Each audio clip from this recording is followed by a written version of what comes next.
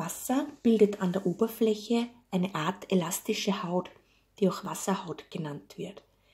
Wasser besteht nämlich aus vielen kleinen Wasserteilchen. Die Wasserteilchen halten fest zusammen.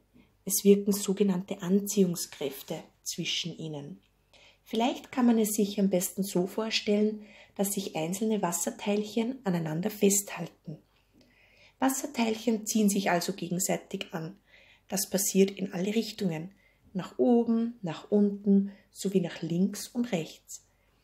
Die Wasserteilchen an der Wasseroberfläche können sich allerdings nicht nach oben festhalten, nur seitlich und nach unten. Umso intensiver halten sie sich also an den benachbarten Wasserteilchen fest. So entsteht die Wasserhaut, die Oberflächenspannung. Gibt man jedoch etwas Spülmittel ins Wasser, äh, zerstört das Spülmittel die Verbindungen zwischen den Wasserteilchen. Die Wasserhaut oder die Oberflächenspannung wird dadurch zerstört.